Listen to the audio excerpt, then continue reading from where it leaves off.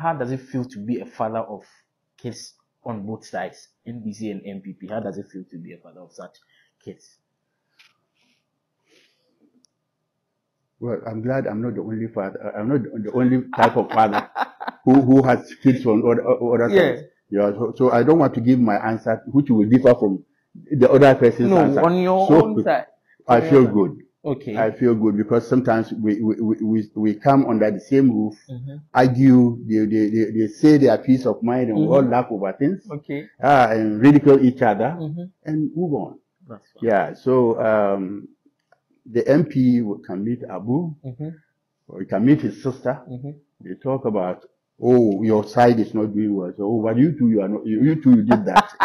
so that kind of thing, the usual ding dong that Yeah. we have, we see in the dailies, you know, Mm. It happens sometimes in my home, Wow. but, uh, they behave like the cockerels. They, they, they, they, they, they can fight, but they don't peck each other's eyes. Sure. So we, we, we- we stay together. That's That's right.